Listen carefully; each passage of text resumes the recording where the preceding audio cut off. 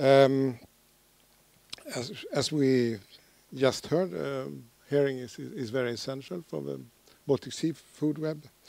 Uh, has a structuring role and um, is important for a number of fish species um, and uh, birds and marine mammals. Um, the fisheries, um, we have taken part in, in historical notes and, and uh, we can confidently say that uh, herring has been a staple food for Stockholm uh, and the Swedish East Coast for, at least uh, a millennium, since early medieval time or even even more back in time, it has been a, a, very important fish species to fish and and um, cod as well, of course. But uh, cod has disappeared from time to time. Um, but herring seems to be continuously fished um, uh, for several hundred years. Uh, th this is about to change, and, and um, maybe um, industrial uh, herring fishing. Uh, it's a likely candidate for the decline. Um, has also come closer to the coast, especially in areas well known to be important for herring fishing, uh, as in as in uh, the Hanö Bight uh, in the southern Baltic Sea along um, the um, Sörmland coast and and also in, in the Bothnian Sea.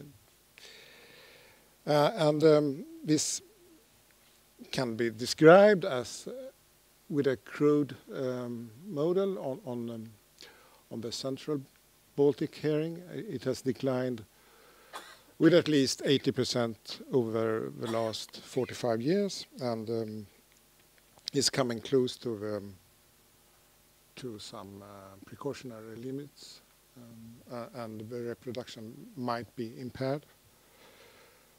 Um, so it's vital to understand uh, how um, this fish is separated uh, into different population, if it is, and, and also why it should be, why it is, why the possible cause of this uh, separation.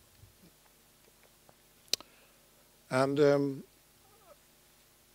the importance of um, different um, substocks can be illustrated with this simple model. Um, we have um,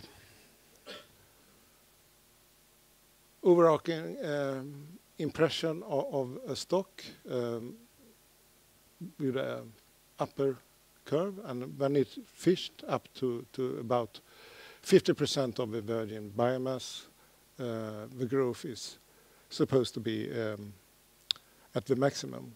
And uh, if the fishery continues from, from uh, right to left, uh, the growth um, that can be explored uh, declines and uh, eventually the fish managers maybe want to to to act uh, and restore the population. And um, that might turn out to be difficult because the stock actually consisted of several substocks and, and um, if they have been extirpated uh, uh, they they are not easily recovered, so to speak. So, so the recovery potential could be quite low, uh, and this is this process we can um, ha has happened in, on, on the Swedish west coast concerning cod, uh, and um, herring um, has been shown to to consist of different uh, distinct populations.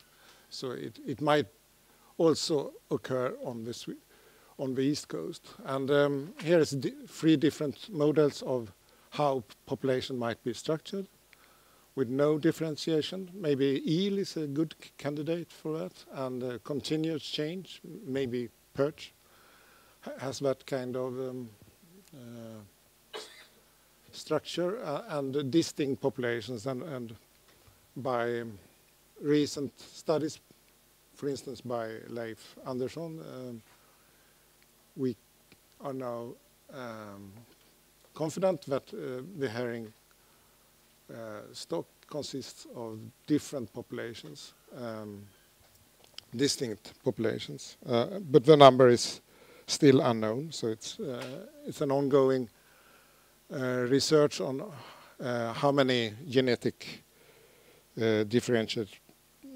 populations that exist. But um, why are they structured and how? Um, there are three major uh, hypotheses. Uh, biophysical forcing, uh, sea currents, hydrographical structures might keep populations separated. And um, this is a model that has been very popular. Um, and fish are seen as, as more or less randomly adhere to, to different spawning sites and, can also vary between uh, different spawning occasions. Um, especially for for uh, herring, um, social entrainment um, has been suggested, but um, uh, herring has no um, homing uh, tendency for a specific uh, site, but they are learning uh, by uh, by social entrainment.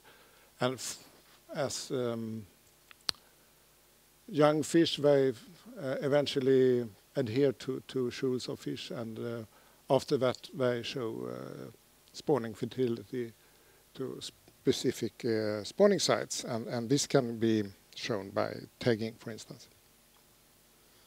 Uh, and the third uh, hypothesis is uh, natal homing or philopatric behavior, um, which is common and commonly known in salmon and eel.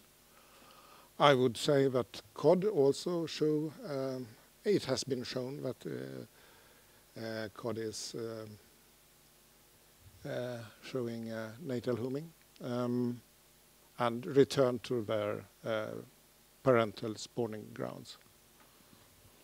Um, how how distinct this mechanism would be is, is, is,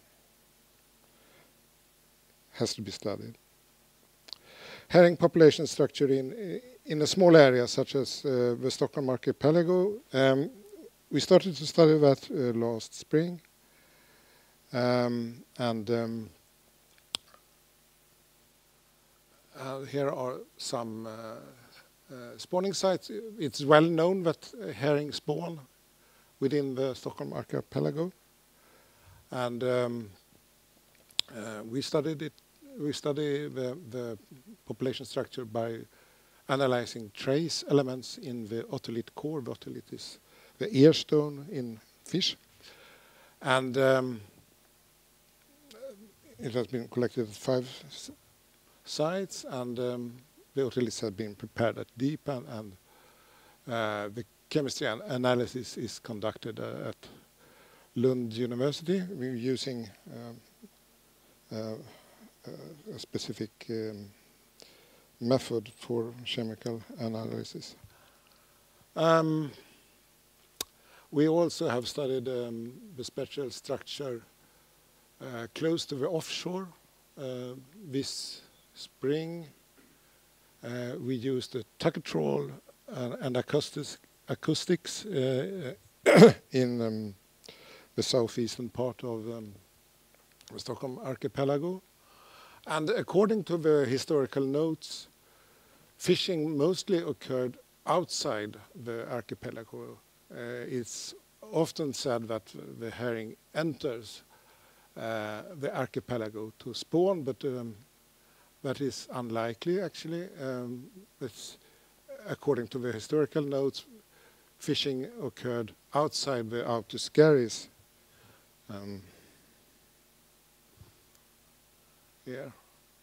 So we have uh, different trawl holes, it, it, was a small study, but uh, anyway, it uh, confirmed that uh, we found um, herring, the figures are the number of herring larvae per uh, thousand cubic meters trawled water. And um, herring mostly spawn on, on um, local banks of 15 to 20 meters depth. And um, the egg are the eggs are um, demersal and, and hatch. Uh, and after that, uh, the larvae enters the water. So, so uh, uh small-sized, early aged larvae is an indication of um, uh, spawning ground. And um, the otolith, here is an um, otolith, uh, and it is um, especially the core of the otolith is interesting because it represents the first part of life. So it's it's an inert uh, materia. It's never uh, restructured, uh, and it grows uh, continuously through life and uh, it reflects uh, the water chemistry. The trace elements show the water chemistry and temperature. And fish metabolism will also uh, affect um, the size and the growth of, of otoliths. So it's a very good recorder of kind of a black box of fish. And uh, here is we, we cut through the otolith and uh, close to, to, to the um, core. Um, here is the hatching ring. The otolith, otoliths are formed already before hatching. So, um, and uh, especially since herring is, is demersal and uh, has, has demersal eggs, um, the water chemistry from a single cohort will be similar. So here we, we analyzed it at, at, uh, at Lund. The, the, results are not finished, unfortunately, uh, some technical problems. Um, but hopefully this autumn. Um, Here's another way of looking at the otoliths, uh, the size of the otolith uh, in, in, relation to, to fish length uh, or fish size. So it reflects different metabolism uh, experiences uh, and um, different temperature could give rise to differences in, in uh, otolith growth, for instance. So they are the, the fish are three years old here and uh, of similar size, uh, but they have a different uh, ratio between otolith weight and fish length between they differ systematically to some extent between different uh, spawning locations within the Stockholm archipelago. So that's an indication actually that they are different uh, and uh, they um, do not mix randomly during the juvenile phase. Yeah. All right. Um, so the summary, um, we are studying the structure of herring stock in the Stockholm archipelago, uh, both by uh, otolith chemistry, and we will also compare our results with, uh, with the genetic methods. Uh, that is uh, the uh, genetic analysis is conducted at the zoological uh, department uh, by Linda Laikre. And um, there are signs that there are actually um, uh, or at such close, at such uh, small ranges. Uh, and um, further analytical results will sh shed some light on, on how herring populations are structured. Thank you.